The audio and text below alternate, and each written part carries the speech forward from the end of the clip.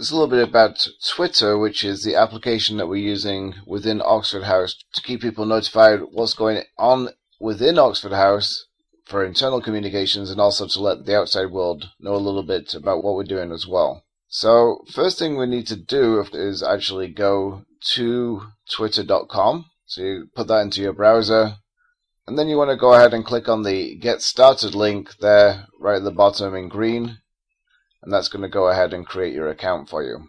Once we go ahead and get started, we're going to put in our full name.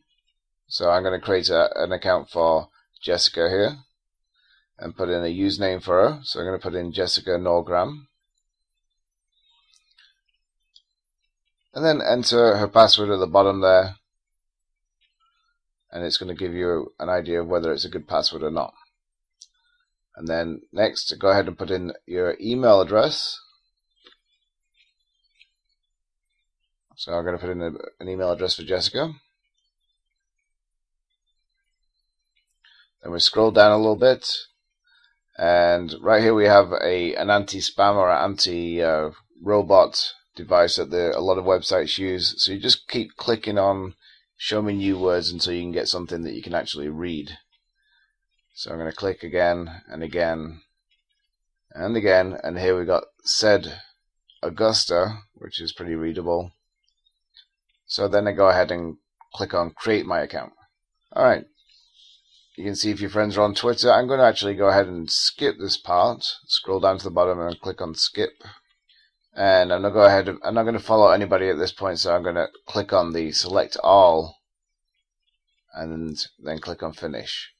Okay, so the basic account is created. I'm going to click on settings now, and make some quick modifications.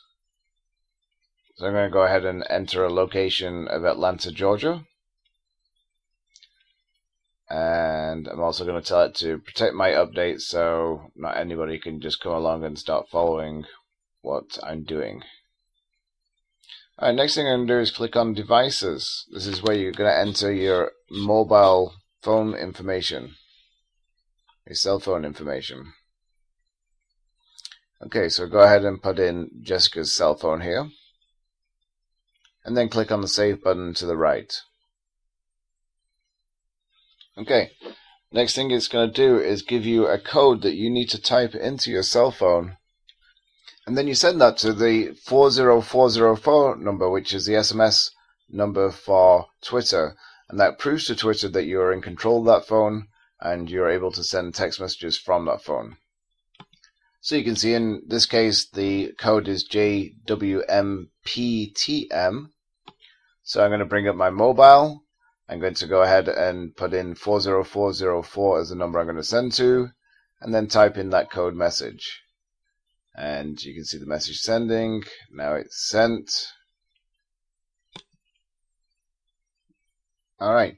Now once the message is sent, you want to wait about 30 seconds, maybe a minute or so, and then if you click on the tab to the right of the devices, or to the left, or basically just click away from the screen and click back again, what that's going to do is, is refresh the screen and you should see something like this. Going to see your mobile phone number is reflected there, and you can specify the times of day that you want to receive messages or not receive messages. And you can see here that I've also now received a text message from Twitter verifying that they've put my phone and approve my phone. Okay, so at this point we've got our Twitter account set up. We've set up our mobile phone number, gotten our mobile phone approved by Twitter, so Twitter knows it is our mobile.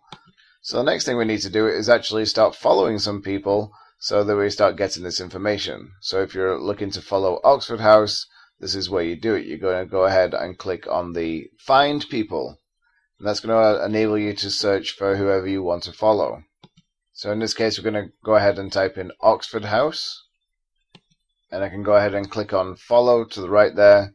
And you can now see that I am following. That's because Oxford House has got no restrictions on who can follow us because that's the external facing account. Now the internal account for the, only the people that are residents of Oxford House is Oxford House GA. It's a different logo you'll see. Uh, it says internal updates.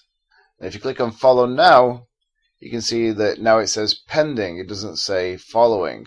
and that's because that it has to be approved on the other side.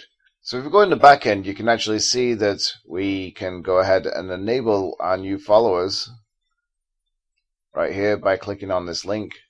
And I've got two followers. I've got Jay Harden. So I'm going to go ahead and allow that. And go ahead and allow Jessica as well. Okay, now when I go back to Jessica's account right here, you can now see that she is following two people, which would be Oxford House GA and Oxford House External just Oxford House. So if she wants to get the notification sent to her cell phone, then she has to go ahead and click on the on button for both those options right there. If you don't do that, it's going to be sent to your computer. It will not be sent to your cell phone. Okay, the next thing I'm going to do is go ahead and send a status update. So I'm going to send out a notification about volunteering at Angel Foods here.